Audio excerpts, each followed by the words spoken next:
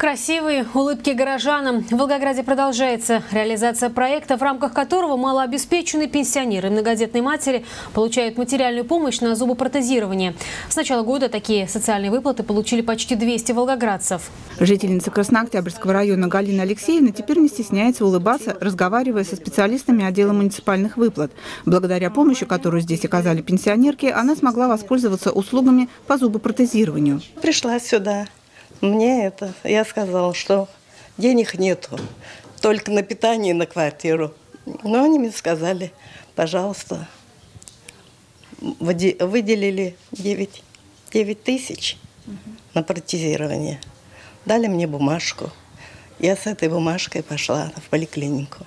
9 тысяч рублей, которые были выделены на протезирование, вполне хватило, а врачи поликлиники сделали так, что теперь, шутит Галина Алексеевна, с чужими зубами даже лучше, чем со своими. И добавляет отрадно, что для того, чтобы получить такую помощь, не пришлось долго ходить по кабинетам, ведь сама процедура оформления заявления не занимает много времени.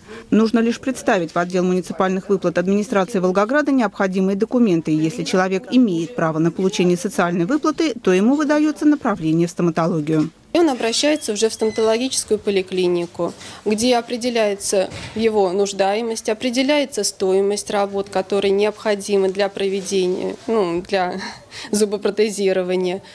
По выполнению этих работ э, стоматологической поликлиникой заявителю выдается акт выполненных работ, на основании которого ему выплачивается материальная помощь. Размер такой выплаты до 9 тысяч рублей, а получить ее могут малообеспеченные волгоградцы, пенсионеры и многодетные матери, прожившие не меньше 10 лет на территории областного центра и имеющие трудовой стаж от 25 лет для мужчин и 20 для женщин. Причем за голливудской улыбкой горожане могут обращаться в любые, не только в государственные клиники. Надо сказать, что сейчас муниципальных учреждений здравоохранения нет, они они сейчас все отданы а, в ведение региона, поэтому в любое медицинское учреждение стоматологического профиля, будь то это государственное учреждение медицинское, будь то частная клиника, а, человек может обратиться, выполнить работы по протезированию, и вернувшись к нам, он получит материальную помощь. Положение об оказании целевой материальной помощи на зубопротезирование принято Волгоградской городской думой. Всего за время действия соцпрограммы ею воспользовались тысячи горожан.